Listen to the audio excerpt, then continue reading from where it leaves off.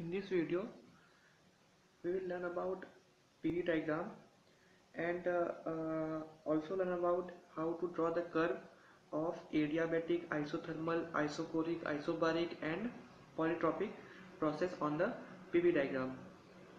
So first let us compare with isothermal, uh, isothermal and adiabatic process. Isothermal versus adiabatic process. Okay. So for isothermal process for isothermal process pv is equals to constant. So if we differentiate the equation we will get dpv plus v d uh, sorry uh, dv into p is equals to 0 so dp by dv is equals to dp by dv will be minus p by v. Now this is for this is first equation. Now for adiabatic process for adiabatic this is for adiabatic process pv to the power gamma is equals to constant. For adiabatic now dp into v to the power gamma plus if we differentiate this equation so dp into v to the power gamma plus plus p into v to the power gamma minus 1 into gamma dv is equals to 0 now dp divided by dv is equals to minus gamma p by v now since we know that we know we know gamma is always greater than 1 so dp by dv adiabatic is greater than dp by dv isothermal. So uh, if we draw this PV diagram and if if this is isothermal since and then this is adiabatic means adiabatic adiabatic curve are more steeper than isothermal adiabatic curve are more steeper steeper than isothermal. So if we plot the whole graph whole uh, graph for whole process on PV diagram on PV diagram we will getting if this is P now there is a trick to draw the curve for polytropic adiabatic isothermal isochoric isobaric process uh, but we will study in later part of this video. First we uh, study about the theoretical part. Now we for isobaric process pressure is equals to constant so this will be the isobaric process. Now for isochoric volume will remain constant. So this will be the isochoric process and now we know that polytropic process will be somewhere in between the adiabatic and uh, adiabatic and uh, isothermal because uh, we know that polytropic process governed by the equation pv to the power n is equals to constant. So n lies between 1 to gamma and uh, 1 uh, and 1 to gamma. So it is somewhere in between uh, isothermal and adiabatic. I will uh, I will uh, tell uh, more uh, detail uh, about this.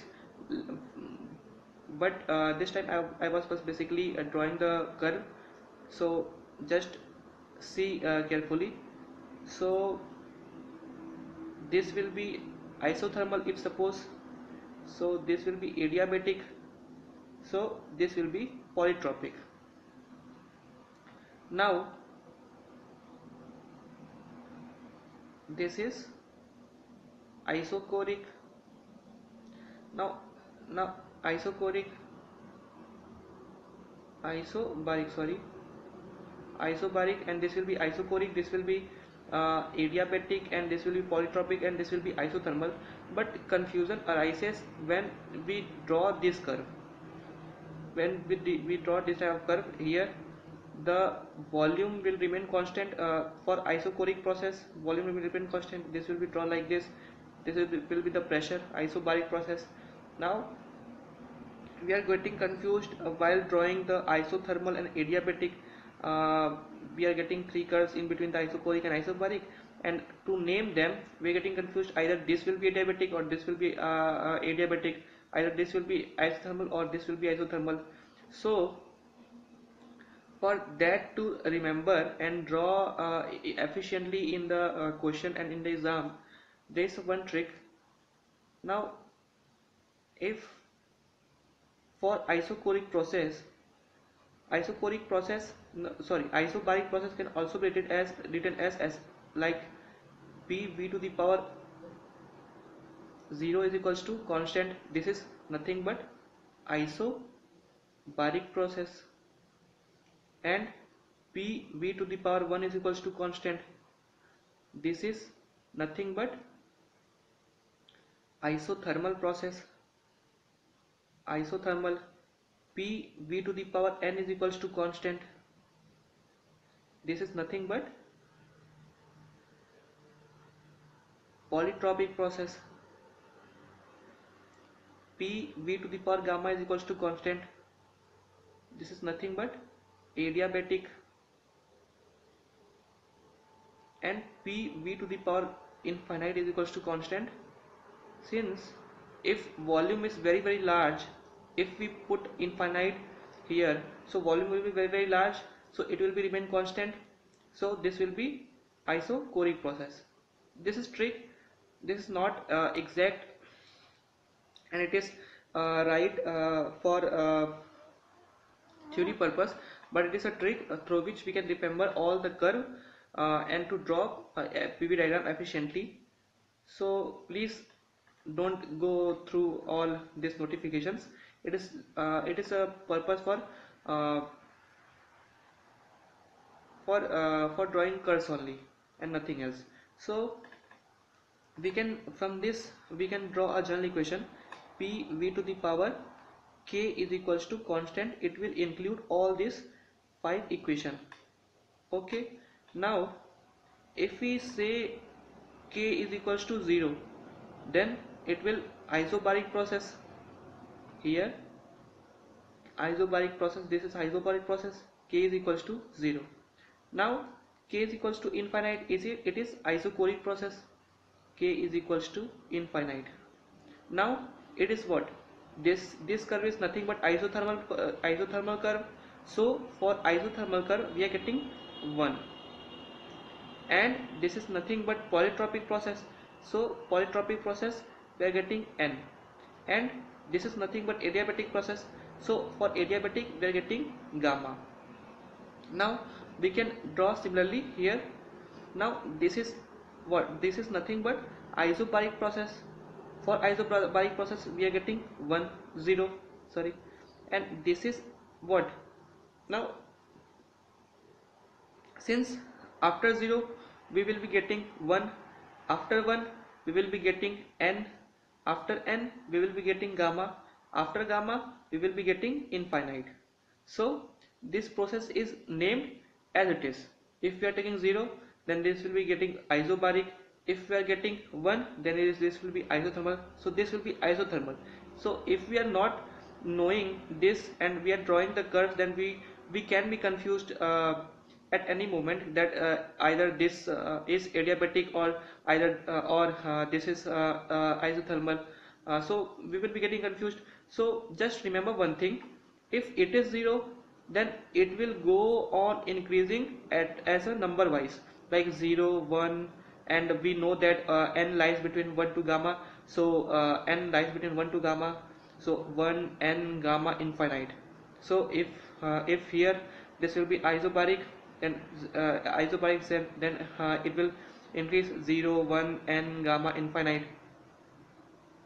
So to remember all this and to remember the slopes and uh, all this we have to uh, remember one thing that is value of k and which process I, uh, and one process that is isobaric or isochoric so uh, if you are remembering say uh, if you are remembering only uh, isobaric then 0 and we will start from 1 and gamma and infinite so by this we can we can we can uh, remember all of the curves on PV diagram on PV diagram for isochoric, isobaric, adiabatic and isothermal and polytropic process. So this is the trick and please remember so basically in this trick the main important is of k.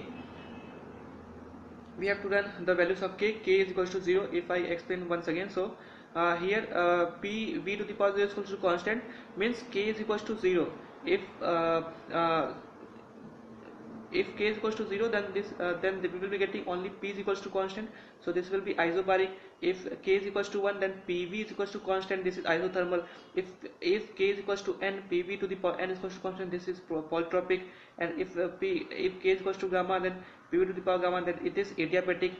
If uh, so by this we can remember all the processes uh, so uh, the value of k uh, can be easily determined and through the value of k if we uh, if we draw all the curves and name them first one 0 and then increasing out uh, 1 n gamma infinite.